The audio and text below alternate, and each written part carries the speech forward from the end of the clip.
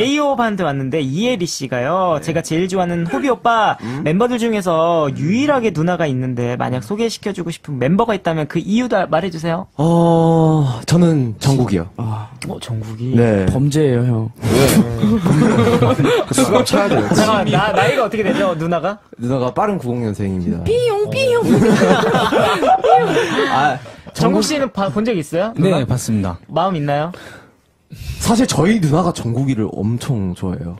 아, 아 실제로. 네. 네, 제가 몇 번 뵀는데요. 네. 제이홉에서 머리만 깁니다. 아, 아, 진짜. 아니, 그게 아니고. 잠깐만, 아니, 아니, 아니에요. 그럼 안 아니, 되잖아. 근데, 아니, 아니, 그럼 안 되죠. 그러면 안 아니, 되죠. 그래서 미인이시라는 거야, 미인. 아, 아, 근데 진짜 예쁘, 예쁘 근데- 아, 되게, 예쁘세요. 되게 이쁘세요. 네. 진짜 이쁘세요. 네.